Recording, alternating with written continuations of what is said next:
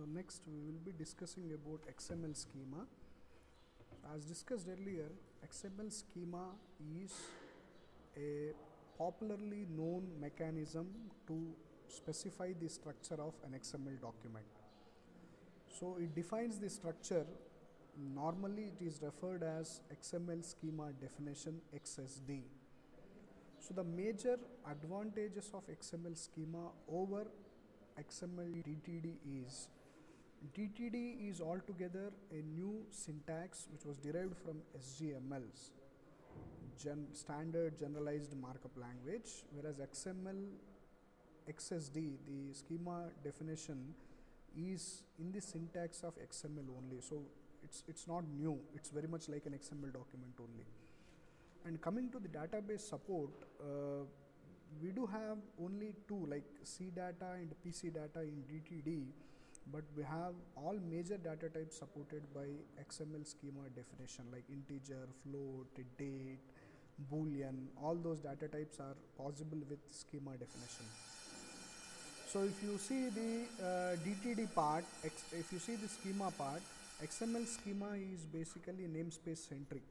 So namespaces are uh, the uh, collection of names like uh, for a particular uh, for a student community if I am trying to define the uh, structural rules so whatever the tags I use I'll create a namespace for that and whoever is trying to define the student data or uh, storing the student data they can just use that namespace and use the elements which are part of that namespace. So that's how XSD is namespace centric which uh, uh, eliminates the problem like uh, when two namespaces are included when I am using HTML into an XML document uh, the ambiguity of table tag or some tags can be eliminated.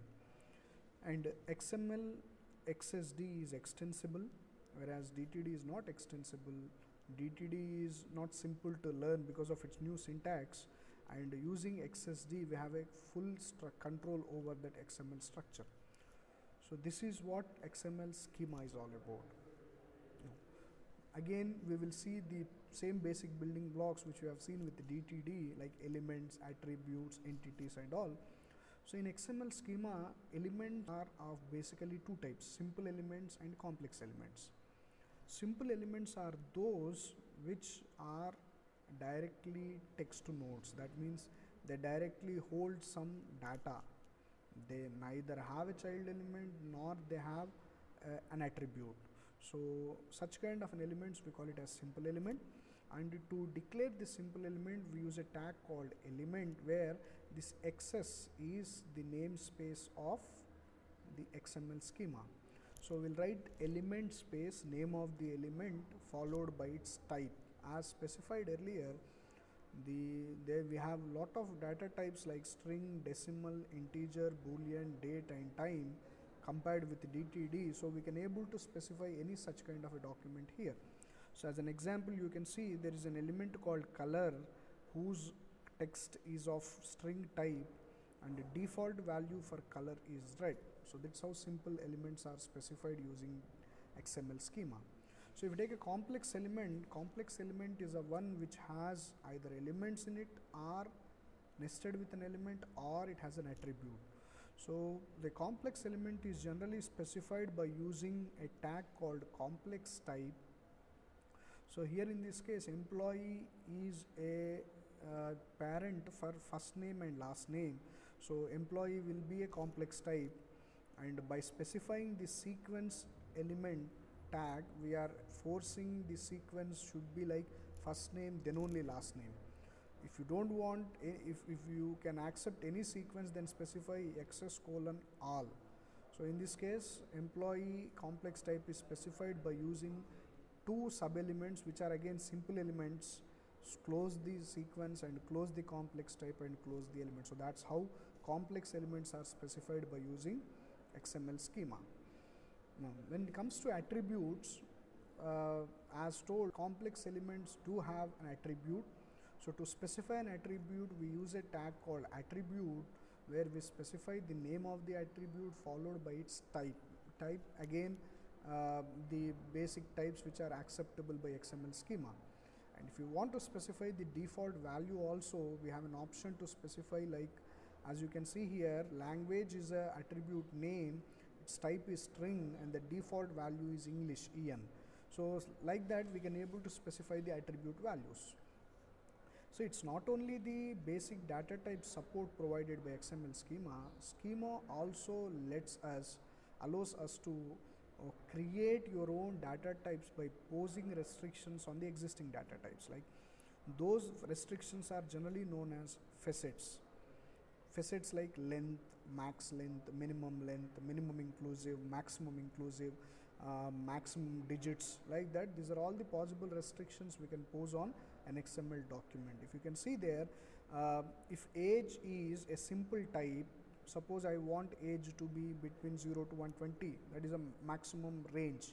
If somebody goes with 1000 then it should not accept it basically. In that case we specify it with a tag called restriction where for age the base data type is an integer and in this restriction tag we specify the possible facets or restrictions in this case minimum inclusive value of this age should be 0 maximum inclusive of 120 should be the possible range of age element. So, this is how restrictions on the basic data types are specified.